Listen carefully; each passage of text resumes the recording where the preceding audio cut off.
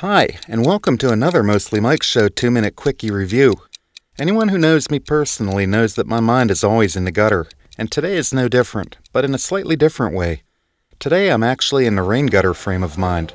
Specifically, holes that are in them, and more specifically, how we make them. Well, today we'll be doing it with the Malco Gutter Punch. Specifically, ah, never mind, the clock is running, so let's do this. So I ordered some seamless gutters for the Boathouse Edition on the garage at the Coco Villa. For those of you who don't know, Coco Villa is the name that I gave to the new Most of the Mike Show headquarters, which I have been renovating. I'll be sure to post links to the restoration videos below. Anyhow, when you buy seamless gutters, the truck comes right to your location and just poops out whatever length of gutter that you specify, within reason, of course. It's a pretty impressive example of the marvels of modern machinery. I purchased the seamless gutter at my local building center, and they were nice enough to loan me this Malco gutter punch to make my downspout holes. Disclaimer, gutter punch loaner tool availability may differ in your area. Malco actually calls this tool a gutter outlet tool, abbreviated as GOT. Well, I figured that while I got this one to use for a while, that it was worth doing a two minute quickie. You know, for all you incredible viewers. It literally took two minutes to use. The dies for this punch are sold separately, and there's a few styles to choose from. I'll be sure to include the Amazon links below, which by clicking the link and then buying anything from Amazon helps this channel out a ton.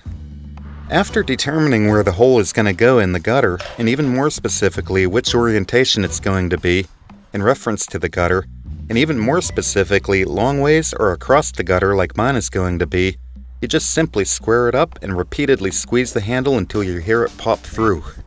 Make sure it's lined up and square, and then just simply keep making sure that it's square as you're doing this because you only get one shot at this. And just gently squeeze through and it pops.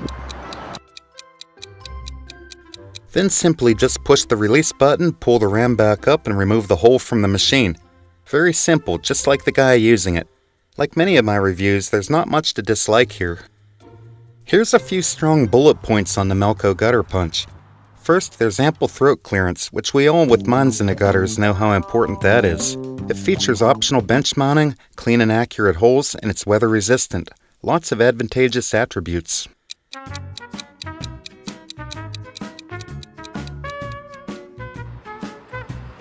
How about leaving me a comment on how your mind is in the gutter, or tell me some gutter jokes below?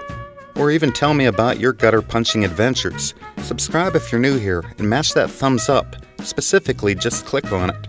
Thanks for taking part in this Mostly Mike Show 2 Minute Quickie. Was it good for you?